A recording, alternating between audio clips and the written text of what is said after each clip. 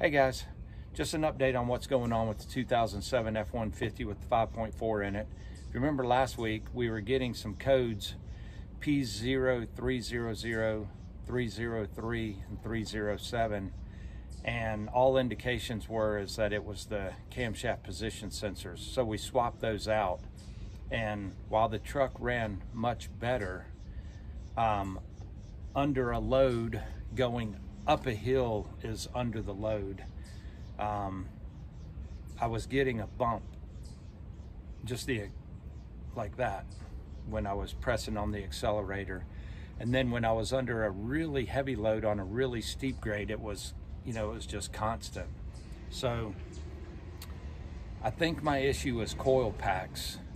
Um, now your cam position sensors and your coil packs, you know, they they can work in conjunction and, and cause similar symptoms, but I changed those last week. It cost me 38 bucks. It only took about 40 minutes. And um,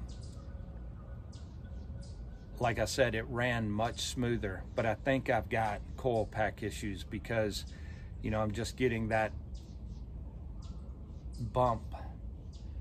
And so what I've done is I bought an eight pack of Duralast coil packs. And this is a coil pack right here. And what happens is, is this sticks down into the block and the spark plug goes in the end of it right here. This is your coil pack right here. And then you've got a electronic um, plug here. And then you've got a screw hole here to hold it in. And what happens is, is in the cars from yesteryear, you had spark plugs, spark plug wires that in turn went to the distributor. Well, now with all the advancement of the electronics, the computer on the car controls everything. So this is an electronically controlled um, coil pack um, that is controlled by the engine's computer. So what happens is, is there's a bunch of ignition coils inside of this pack right here, and they store up energy and then they release it all at once. That goes down and goes into your spark plug and causes the ignition sequence. Um, so we are going to change out all eight of these. I could just change out number seven and I, as well as number three, but if two of them are going bad, then the chances of the other ones not far behind it um, is is a very real possibility. So it doesn't make any sense just to do the two. Um, all eight of these was $239. Um, and we're just going to, like I said, unscrew this screw, un unplug that electrical connector, and pull these out. I'm not going to change the plugs today. Um, but it is a good idea to change your plugs while you're changing these. But um, I'm, I'm, not gonna change plugs just because I don't have them. So let me show you what these things look like installed on the motor and then we'll start swapping these things out one at a time. All right, the ignition coils are those yellow things right there. There's four on the right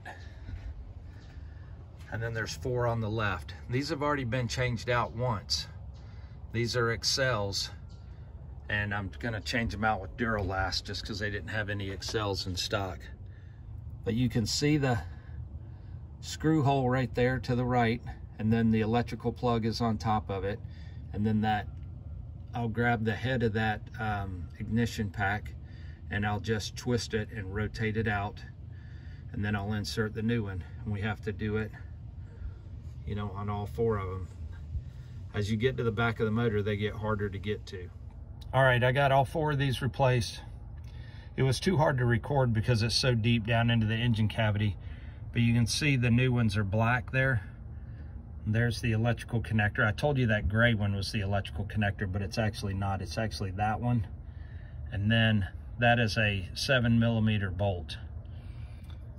And then you, so that's six, seven, I'm sorry, five, six, seven, and then eight all the way in the back. That one in the back was really hard to get to. But let me show you something. These are the four that came out.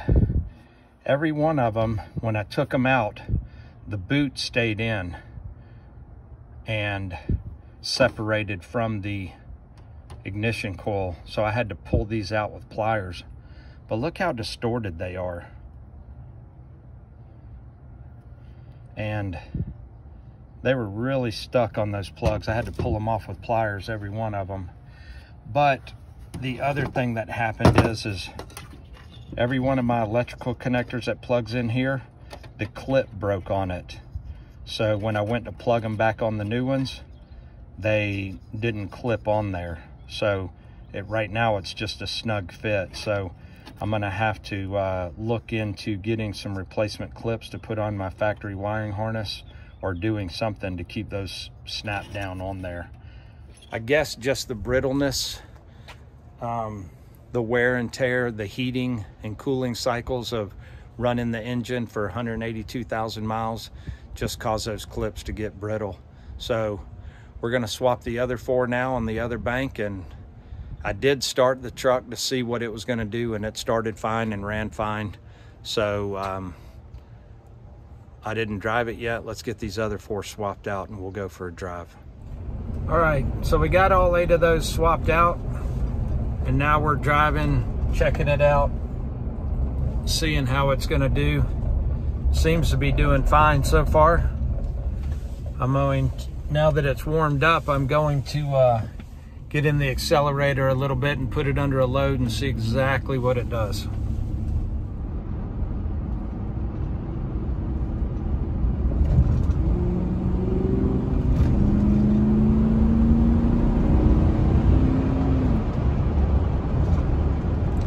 All right, that did real good.